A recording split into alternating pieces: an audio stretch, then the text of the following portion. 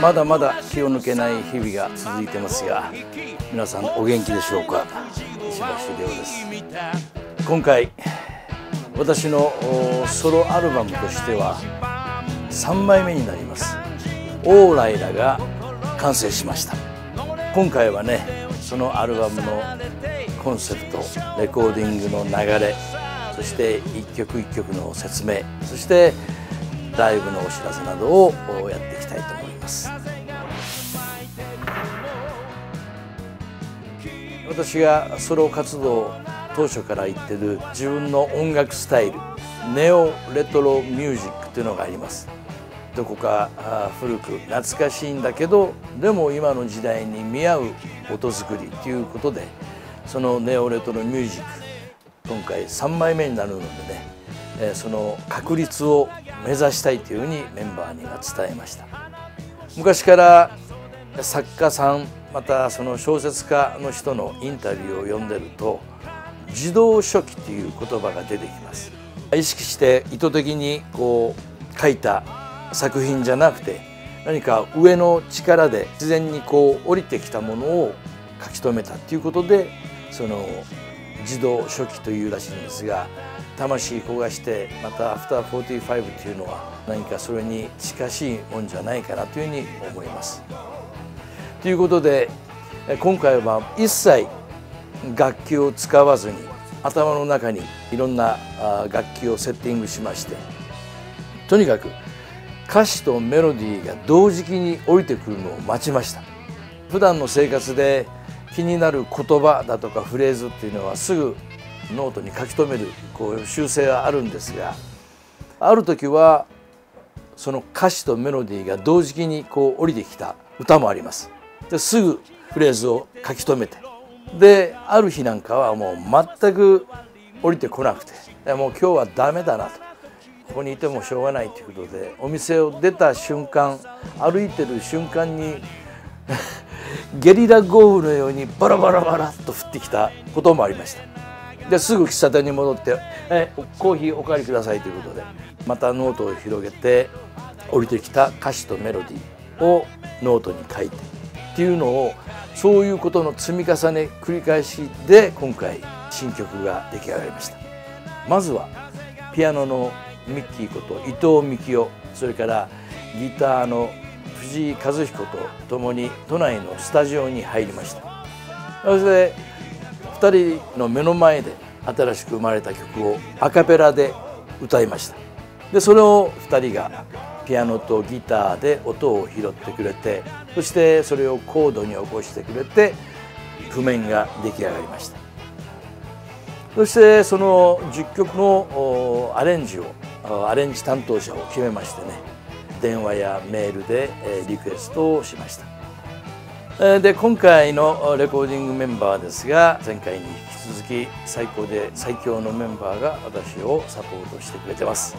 ピアノミッキーこと伊藤美樹夫ギターザ・グルーバーズからボーカルギターの藤井和彦。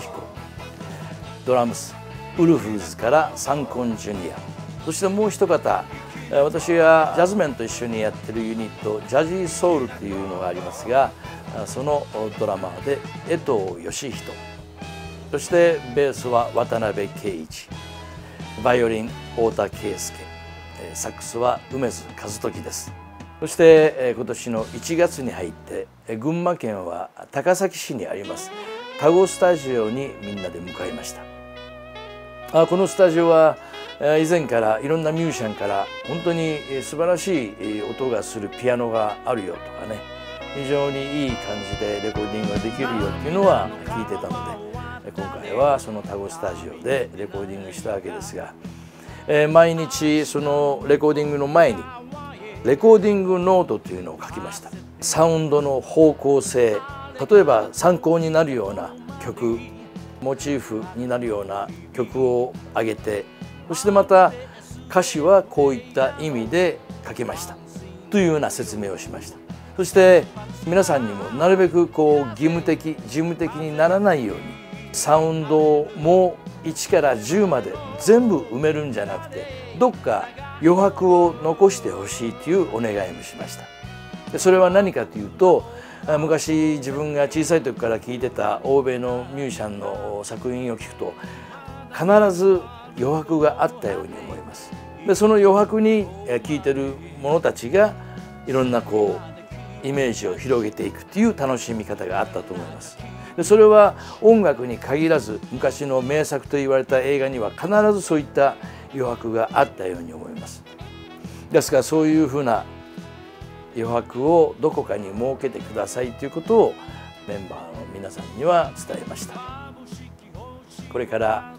一曲一曲を説明していきたいと思います。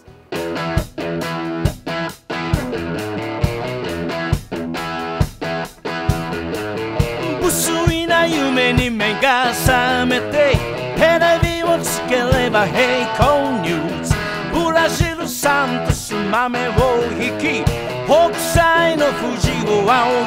ぎ見た。曲目に入ってる「粋な午後」ですがこれもその自動書記って言いますかね。こうひたすら喫茶店で待ってこう降りてくるのを待ったんですがまず「粋なゴーゴー」「粋なゴーゴー」「粋なゴーゴー」という歌詞とメロディーがまず降りてきました。そして徐々に徐々に一曲になったわけですがアレンジはギターの和彦君にお願いしました。そして目指すサウンドとして一つ参考曲がサディスティックミカバンドの「タイムマシン」におねがいです。まあサウンド的にはギラッとねグリッド昔グリッターサウンドっていうのがありましたが、まあ、グラムロックでよく使われた言葉ですが、えー、泥臭いロックンロールじゃなくてどこかこう洗練された都会のロックンロールにしてほしいというリクエストを和代君にしました。歌詞はまあ本当に何か日本で生活してて世知辛いっていうか多分昔はもっと豊かな日本日本人だったんじゃないかなという思いでこ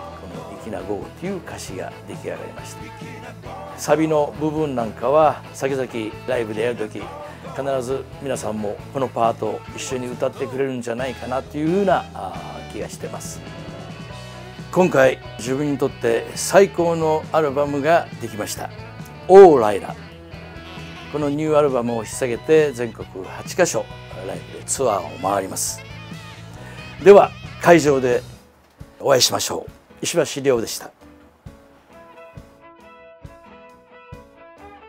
月が逃げても色もかも。漂わせては凛として。